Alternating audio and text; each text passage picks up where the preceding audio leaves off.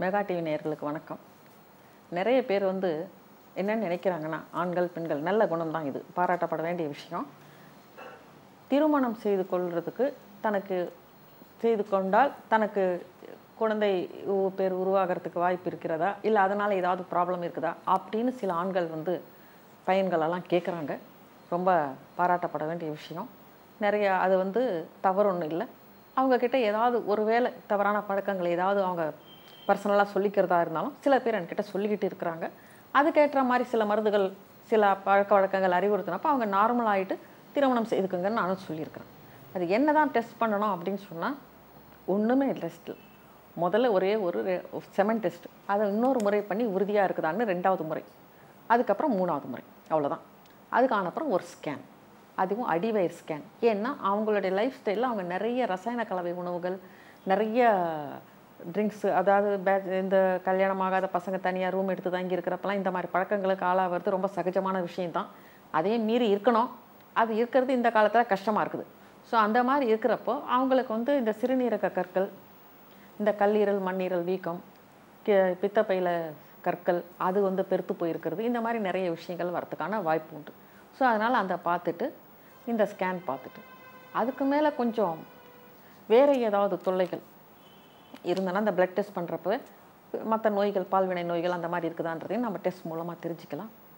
அதுக்கும் மேலே பர்சனலான விஷயங்கள் ஏதாவது இருக்குதா அப்படின்னு சொல்கிறப்போ இது மாதிரி எனக்கு வந்து ச- அந்த விதை பயில விதைப்பையில் அரிப்புகள் இருக்குது இல்லை மற்றபடி எனக்கு கொஞ்சம் சிறுநீர் கரைக்கிறப்போ எரிச்சல் வருது அப்படின்னு சொல்கிறப்போ ஒரு டாப்லர் ஸ்டடி ஒரு ஸ்க்ரோட் அதுவும் ஒரு ஸ்கேன் தான். எந்த நிலையிலும் கத்தி பிளேடு கத்திரியோட தேவையில்லை. எல்லாருக்குமே அது பண்ணணும்னு இல்லை.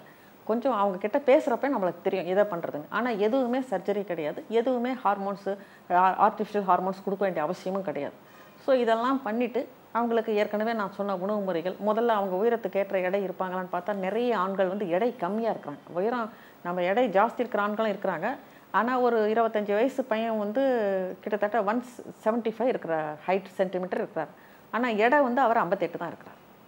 ஸோ அதனால் அவர் டயர்ட் ஆகிடுறாரு கொஞ்சம் வீசிங் ப்ராப்ளம் இருக்குது ஸோ அதையெல்லாம் கொஞ்சம் கரெக்ட் பண்ணி எல்லாம் சொன்ன உடனே அவர் ஒரு செவன்ட்டி ஆன உடனே மேரேஜுக்கு நீங்கள் ச சரியாக இருக்கிறீங்கன்னு சொன்னோன்னே மேரேஜ் பண்ணிக்கிட்டாரு. பண்ண ஒரு எட்டாவது மாதமோ ஒம்போதாவது மாதமோ அவர் வந்து ஒரு கடிதம் எழுதினார். இந்த மாதிரி என் ஒய்ஃப் கன்சீவ் ஆகிருக்குதுன்னு சொல்லிட்டு. முதல்ல இருந்த உயிரணுக்களுக்கு வந்து அந்த மாதிரி கன்சீவ் ஆகிற தன்மை குறைவு.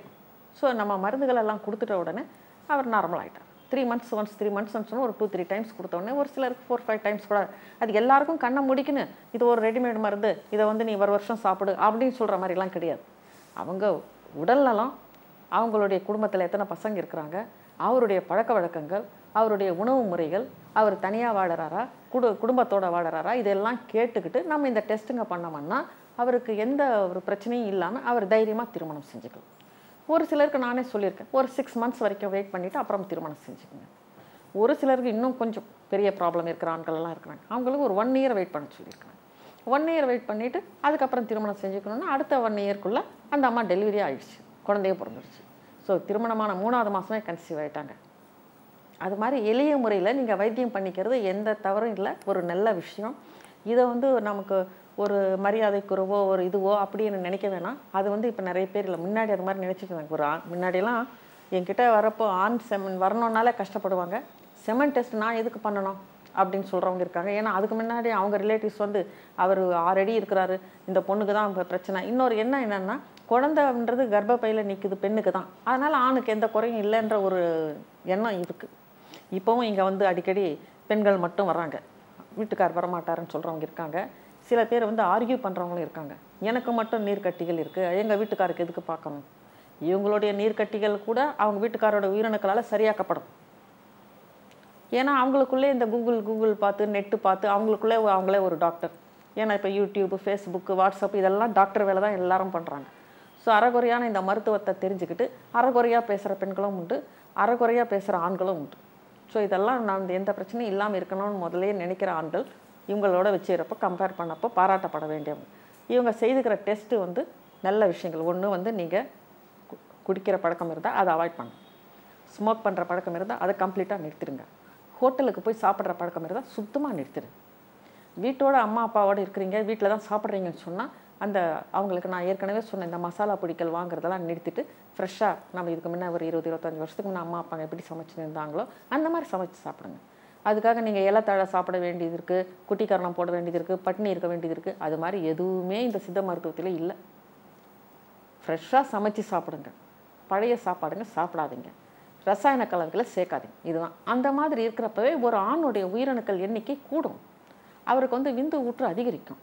அது நம்ம டெஸ்ட் பண்ணுறதுலேயே அது ஃபுல்லாகவே நம்மளுக்கு இதுவோட தெரியும். அந்த விவரம் தெரிஞ்ச உடனே நீங்கள் எந்த நிலையிலும் கல்யாணம் பண்ணிக்கிறதுக்கு தயாராக இருக்கலாம். ஒருவேளை உங்களுக்கு வேறு ஏதாவது தவறான பழக்கங்களால் இல்லீகல் கனெக்ஷன்ஸ் அதனால் ஏதாவது இருந்தால் அந்த விஷயமும் நாம் அதில் தெரிஞ்சுக்கலாம். அதனால் உங்களுக்கு வந்து அந்த பிளட் டெஸ்ட்லேயே அது தெரிஞ்சிடும். திருப்பி நாம் ட்ரீட்மெண்ட் பண்ணிவிட்டு அந்த பிளட் டெஸ்ட் பண்ணுறப்ப அது இல்லைன்னு நெகட்டிவ்னு வந்துடும்.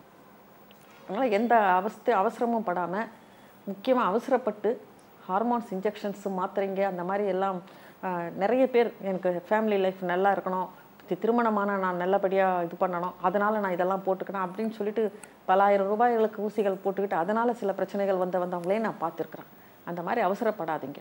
ஏன்னா ஆண் பிள்ளைகள் எல்லாமே வந்து கொஞ்சம் இப்போ அவேர்னஸோடு தான் இருக்கிறாங்க. நிறைய பசங்க வந்து அந்த மாதிரி கல்யாணம் பண்ணிக்கிறதுக்கு முன்னே என்னால் அந்த அம்மா கரு தாயாகிறதுக்கான முடியாத ஒரு சூழல் உருவாகக்கூடாது. அதனால தான் வந்த டாக்டர்னு அவர் தெளிவாக சொன்னார் ஒருத்தர் வந்து. அதுக்கடி அடிக்கடி அந்த மாதிரி வராங்க. நீங்கள் செஞ்சுக்கிங்க. எந்த நிலையிலையும் வந்து ரசாயன கலவை உணவுகள் சாப்பிடாதீங்க. இந்த மாதிரி மூணு செமெண்ட் டெஸ்ட்டு ஒரு ஸ்கேன் தேவைப்பட்டால் உங்களுடைய டீட்டெயில்ஸ் கேட்டுட்டு தேவைப்பட்டா அந்த இன்னொரு ஸ்கேன் இல்லைன்னா அது எல்லாருக்கும் தேவை கிடையாது. இதை செஞ்சுக்கிட்டால் நீங்கள் வந்து எல்லா ஹேபிட்ஸும் விட்டுட்டு வீட்டு சாப்பாடு சாப்பிட்டிங்கன்னா தைரியமாக திருமணம் செஞ்சுக்கிட்டு இல்லற வாழ்க்கை ஈடுபாடு தாராளமாக அனுபவிக்கலாம். இதில் ஒரு பெரிய கஷ்டம் அவ்வளோதான் இது அப்படின்ற மாதிரி எதுவுமே இல்லை. ஏன்னா இவங்க என்ன பண்ணிடுறாங்க? கொஞ்சம் பேர் சில பேர் வந்து இந்த பையன்கிட்ட பர்சனலாக பேசுகிறப்போ சில வியாபார நோக்கமான மருத்துவர்கள் நீ வந்து கல்யாணம் பண்ணிக்கிட்டா எப்படி உன் சம்சாரத்தை திருப்திப்படுத்துவ? அவ்வளோதான் உனக்கு அப்படின்ற மாதிரி சொல்லிட்டு நானே ஒரு ரெண்டு மூணு வருஷம் ட்ரீட்மெண்ட் பண்ணாதான் நீ உன்னால் வய இல்லற வாழ்க்கையில் ஈடுபட முடியும் அப்படின்னுட்டு அவங்க பிரெயினில் வந்து ரிஜிஸ்டர் பண்ணிடுறாங்க.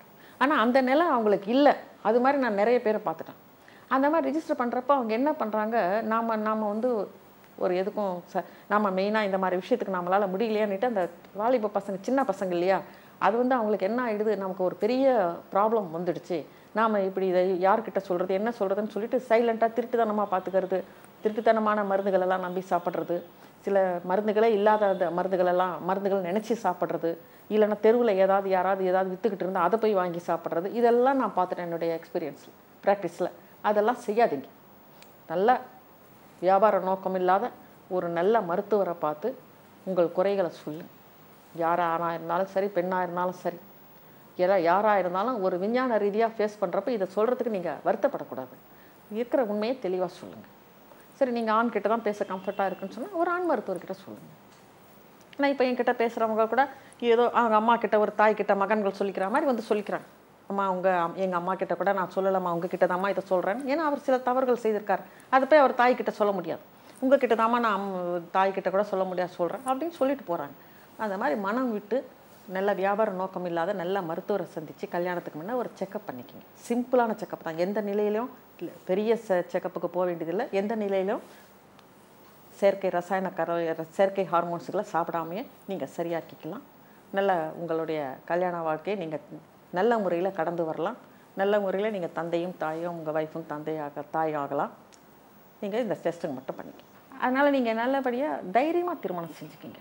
எந்த எல்லாருக்கும் நான் திருப்பி திருப்பி உங்களுக்கு சொல்ல வர்றது இந்த மாதிரி ஒரு விஷயம் இருக்குது அப்படின்றதுக்கு ஒரு இல்லற வாக்கு ஈடுபாட்டில் பாதிப்பு வருது நாம் திருமணமான ஒரு மனைவியை சந்தோஷப்படுத்த முடியுமா முடியாதா அப்படின்னு நினைக்கிற ஒரு டவுட் வர்றதுக்கு காரணமே உங்களுடைய தவறான ஹேபிட்ஸும் உங்களுடைய உணவு முறை பழக்க வழக்கங்களும் மாடர்ன் லைஃப்ன்ற பேரில் நீங்கள் எல்லா விஷயங்களும் ஹோட்டலில் போய் சாப்பிட்றது ஹோட்டல் சாப்பாடை வீட்டுக்கு வர வச்சு சாப்பிட்றது சாப்பிட்டுன்றது ஒரு நேச்சுரலான ஃபுட்டு நீங்கள் அவாய்ட் பண்ணதுனாலே ஏற்பட்டு தான் ஏன்னா லைஃப் ஸ்டைலில் முதலிடம் வகிக்க வகிக்கிறது ஃபுட்டு அடுத்தது தான் உங்கள் ஹேபிட்ஸு ஸோ இது எல்லாமே கலந்தப்போ உங்களுக்கு என்ன வந்துடுது?